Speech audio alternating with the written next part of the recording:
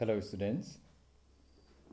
Today in this class we are going to see the general motor fitness borrow three items general motor ability standing broad jump zigzag run medicine ball put right in the previous classes we discussed about uh, motor fitness test uh, 50 meter dash and 600 meter run and walk partial curl up and uh, standing broad jump push up for boys modified push up for girls and 4 into 10 meter uh, shuttle run right?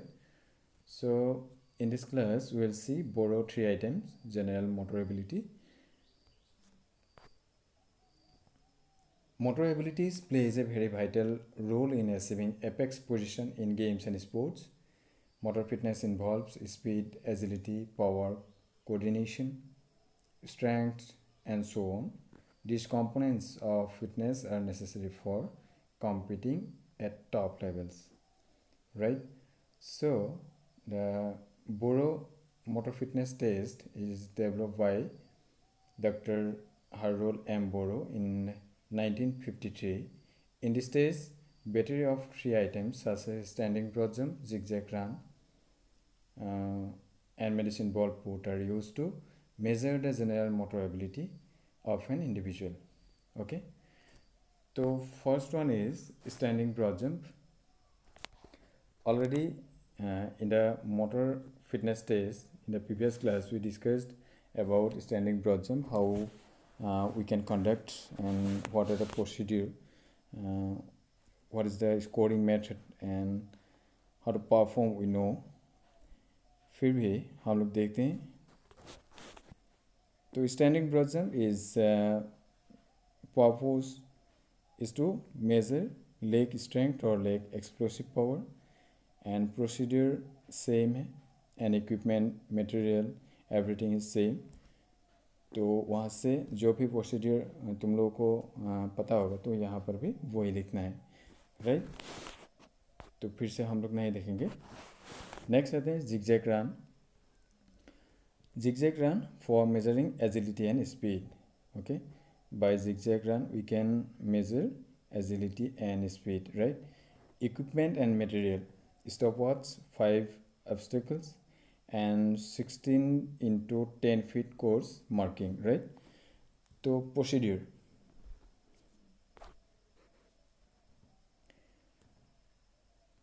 This subject begins from a standing start on the command to run. This subject runs the prescribed pattern stated to him as quickly as he can without grasping.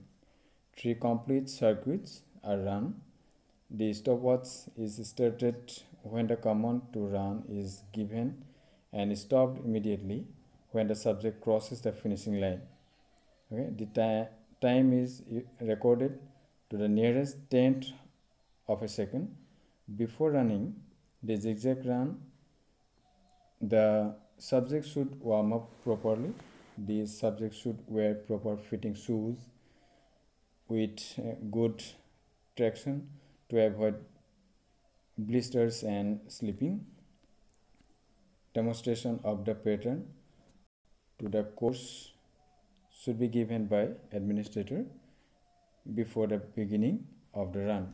It means तो ये procedure क्या है? जो यहाँ पर दिखा गया है तुम लोगों को, जो मार्किंग है, कैसे किया गया है? तो फाइव ऑब्स्टिकल चाहिए हम लोगों को। तो उसको मतलब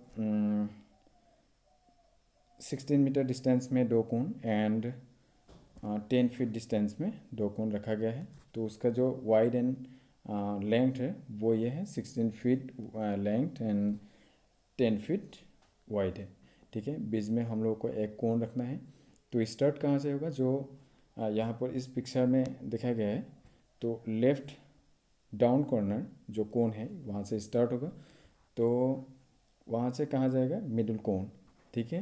He will run towards the middle one cone and he will run towards the right downward cone and he will run towards the uh, top right cone and then again he will come to the middle cone and then he will run left top cone and then he will go for the finishing line or uh, finished cone and left down cone okay तो ये है procedure zigzag run का तो scoring method जो है तो उसमें ये जो सर्कल है वो कंप्लीट करने में जितना टाइम लगते हैं तो वो हो गया उनका रिकॉर्ड ठीक है? टाइमिंग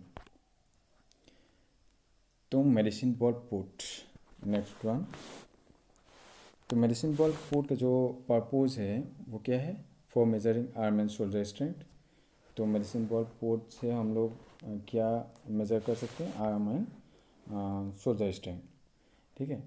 इक्विपमेंट चाहिए हम लोगों को, एक medicine ball and measuring tape okay procedure this subject stands between two restraining lines which are 16 feet apart okay in case of girls a medicine ball of 1 kg और boys के लिए चाहिए three K G after date he or she attempts to put the medicine ball out as far as possible without crossing the restraining line जो हम लोग एक restricted line बनाते हैं वो क्रॉस नहीं कर सकते।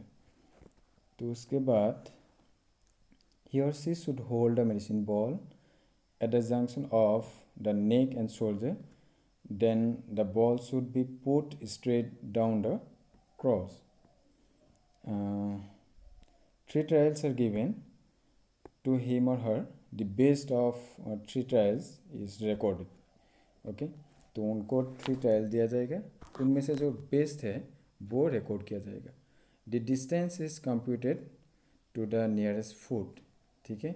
जो रेस्ट्रिक्टेड लाइन है, वहाँ से जो नियरेस्ट फ़ूड है, जो वहाँ से मतलब जहाँ पर वो मेडिसिन बॉल गिरेंगे, जो भी डिस्टेंस होगा तो वो रिकॉर्ड किया जाएगा। तो a put is which in which the subject commits a foul is not scored ठीक है? जो फाउल होगा, वो स्कोर नहीं होगा। जब तक मतलब थ्री टाइल दिया जाएगा एक सब्जेक्ट को। थ्री टाइल भी थ्री टाइल्स फाउल हो गया तो उसके बाद भी वो कर सकते हैं जब तक एक फेयर पुट नहीं हो जाए, ठीक है? ये है मेडिसिन बॉल पुट का प्रोसीडियर बहुत सिंपल है बोरो मोटर फिटनेस जो है तो उसका थ्री आइटम्स है, या थ्री बैटरी आइटम्स है तो वो है standing broad jump zigzag run and medicine ball put ठीक है? तो स्टैंडिंग ब्रॉड ऑलरेडी हम लोग जो मोटर फिटनेस टेस्ट डिस्कस किया था, वहाँ पर देखा था। जो प्रोसीजर है सेम है। स्कोरिंग मेथड भी सेम है, जो ट्रैक ऑफ़ लाइन है। ट्रैक ऑफ़ लाइन से जहाँ पर फुट मार्क होगा। लास्ट मतलब जो nearest to the track of line जो हिल पॉइंट होगा, वो होगा उनका रिकॉर्ड ठीक है? जो भी डिस्टेंस होगा उनका। ठीक है? जिक जैक रन कैसे करते हैं जो प्रोसीड्यूर है वो भी हम लोगों ने देखा। तो ये कॉम्प्लिकेटेड नहीं है। उसके बाद मेडिसिन बॉल पुट बॉयज़ के लिए तीन के जी और गर्ल्स के लिए वन के जी और जब तक थ्री ट्रायल्स दिया जाएगा उन लोगों को सब्जेक्ट को तो जब तक एक फेयर पुट नहीं हो जाए तब तक वो आ, मतलब थ्रो कर सकते हैं। ठीक है? ये है Barrow motor test three item standing broad jump zigzag run and medicine ball put okay thank you कल हम लोग देखेंगे measurement of cardiovascular fitness Harvard step test ठीक है? हावर्ड स्टेप टेस्ट के बारे में हम लोग देखेंगे.